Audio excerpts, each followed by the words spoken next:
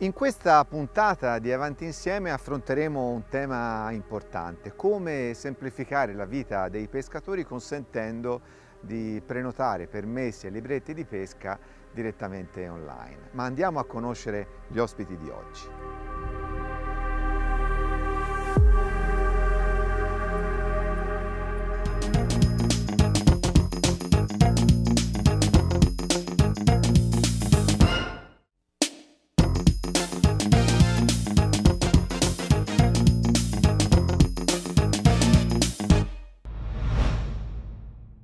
Bene, benvenuti quindi a questa nuova puntata di Avanti Insieme. Siamo con eh, Claudio Nolli del eh, Consiglio federale FIPSAS, responsabile del tesseramento e dell'organizzazione territoriale. Ciao Claudio. E con Ciao Francesco. Francesco Biacchi, responsabile del progetto GeoTicket. Ciao Francesco, buongiorno. È proprio del progetto GeoTicket parleremo in questa puntata, un progetto molto interessante che consente e consentirà sempre di più la possibilità di registrare dei permessi di pesca online in maniera semplice eh, sfruttando una serie di potenzialità appunto di questo progetto del quale parleremo. Ma innanzitutto Claudio, l'impegno della federazione nel cercare di migliorare, semplificare e creare le condizioni per una gestione sempre più ottimale delle potenzialità legate al settore della pesca sportiva. Sì, le parole chiavi sono proprio quelle di semplificare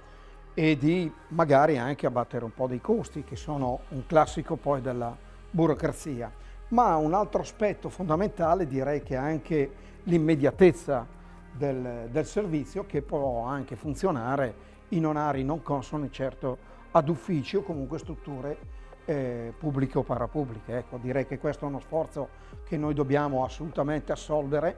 per cercare di fare dei passi avanti che sono verso la semplificazione in termini concreti e generali.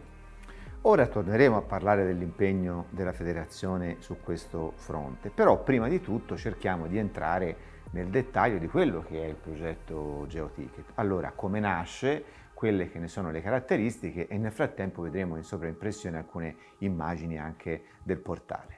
Esatto, intanto il progetto GeoTicket nasce, come hanno anticipato giustamente, per semplificare la vita del pescatore, in quanto ogni singolo territorio presenta modalità costi e sistemi differenti per l'acquisto del permesso di pesca e l'uso del libretto segnacatture. Noi nasciamo per semplificare tutta questa modalità, tutto questo processo con un sito unico, un'app unica in tutta Italia, con l'obiettivo di offrire al pescatore il suo permesso in meno di un minuto e la possibilità di scegliere in tempo reale l'area di pesca in cui si vuole andare a pescare. Questo è molto importante perché, come tutti noi sappiamo, ogni singola area presenta appunto costi e modalità di acquisto differenti. Ora invece con un'app unica vi è la possibilità in tutta Italia di fare il permesso con un clic e di conseguenza l'adesione è stata molto alta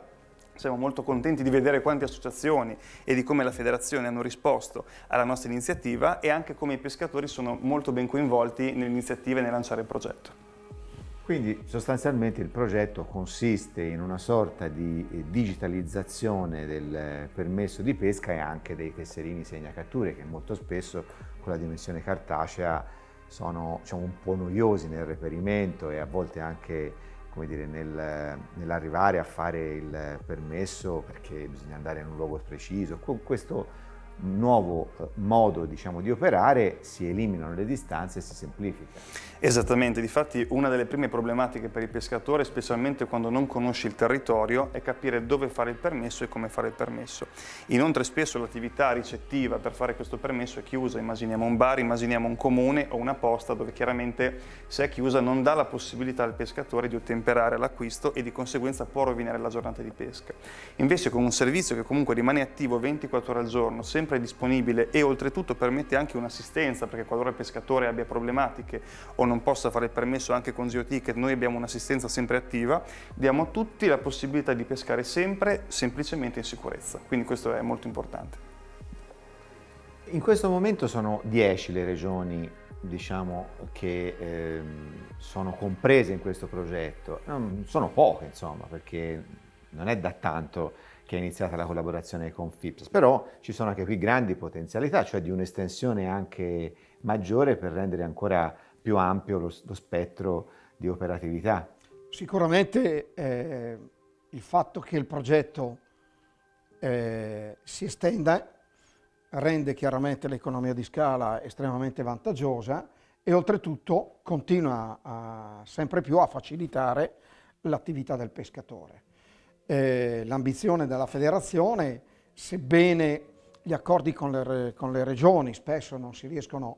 a concretizzare per una serie di aspetti legati all'evoluzione che ha la pesca tra provinciale, regionale, leggi locali e cose di questo genere, però possiamo incominciare a ragionare in termini di bacini, in termini di acqua, in termini di comprensori idrici o di corpi idrici anche semplicemente. E su questo aumenteremo lo sforzo per dare la massima visibilità al pescatore di quali sono le opportunità pronti a sfruttare quella che oggi per il pescatore è un fenomeno di migrazione turistica eh, di, grande, di, grande, concretezza. Ecco. Quindi è un progetto che va visto non semplicemente per il rilascio del, eh, del tesserino segnacatture o del permesso, ma in prospettiva con una visione a medio termine. Ecco. Questo perché noi non ci stanchiamo mai di ricordarlo, la pesca sportiva è un importantissimo volano di marketing territoriale e questo progetto che consente di sfruttare appunto eh, una serie di acque che, sulle quali si può eh, effettuare il permesso in maniera molto semplice eh, agevolano e potenziano in termini appunto di crescita economico-sociale la possibilità di mobilità in un territorio, perché la pesca non è solo divertimento, è anche economia e noi non ci scordiamo mai di questo. Assolutamente, noi vogliamo che tutto il sistema si integri in quello che noi chiamiamo la filiera economica della pesca sportiva, laddove per filiera intendiamo non semplicemente il permesso il negozio di pesca che meritano tutta la nostra attenzione, il nostro eh, rispetto, però intendiamo anche le strutture alberghiere, B&B, sistemi di ristoro, ristorante e perché no anche centri culturali che vanno dai musei ma anche alle semplici, tra virgolette semplici, sagre che secondo me sono delle opportunità che di solito si sviluppano la sera di divertimento per il pescatore e i suoi accompagnatori. Francesco, in questa eh, piattaforma sono già 275 gli spot di pesca eh, rispetto ai quali si può prenotare il permesso. Ehm, chiaramente sono destinati a crescere. Spieghiamo al pescatore, e glielo facciamo anche vedere sulla piattaforma, esattamente come si fa, che cosa si deve fare quando si accede e quali ne sono appunto le caratteristiche di così proprio grande semplicità. Esattamente, diciamo che il procedimento è studiato per essere molto pratico e molto semplice. Basta accedere al sito o all'applicazione di SeoTicket, scegliere l'attività che si vuole andare a fare, quindi ci saranno varie possibilità, oltre alla pesca abbiamo anche raccolta funghi, caccia, tartufi e quant'altro, scegliere la regione in cui si vuole praticare questa attività, una volta scelta la regione compariranno in modo molto facile tutte quante le aree al momento disponibili per la pesca in quel territorio. Conseguentemente si sceglie il tipo di permesso, si sceglie la validità, quindi se parliamo di un mensile sceglieremo il mese, di un giornaliero sceglieremo il giorno e si acquista il permesso. Una volta comprato il permesso, chiedo scusa, diciamo che il gioco è fatto, ovvero il pescatore può subito andare nel suo spot di pesca e cominciare la sua giornata. In abbinamento al permesso c'è il permesso segnacatture digitale, ovvero la parte di app dedicata a semplificare ulteriormente la vita del pescatore nella segna della cattura. Quindi aprendo l'app e selezionando il permesso relativo, io potrò segnare la mia cattura comodamente direttamente con un clic. Questa cosa, attenzione, funziona anche offline, perché chiaramente ci sono molti spot di pesca dove io ho difficoltà a prendere rete. Così facendo do modo al pescatore di essere completamente in regola anche dove non prende la rete e di far vedere chiaramente a livello di analisi statistica le mie catture una volta tornato diciamo, dove la rete telefonica funziona. Come giustamente aggiungevate prima, l'aspetto turistico è molto importante, in quanto GeoTicket permette nel momento in cui si sceglie un territorio di visualizzare tutta l'offerta commerciale, quindi parliamo di alberghi, negozi di pesca e quant'altro, presenti sul territorio, quindi non solamente permessi di pesca e segnacatture, ma anche un risvolto economico per il territorio che spesso è una valle svantaggiata, è posizionata in montagna, che sicuramente va a agevolare tutto quel circuito economico che gira intorno alla pesca.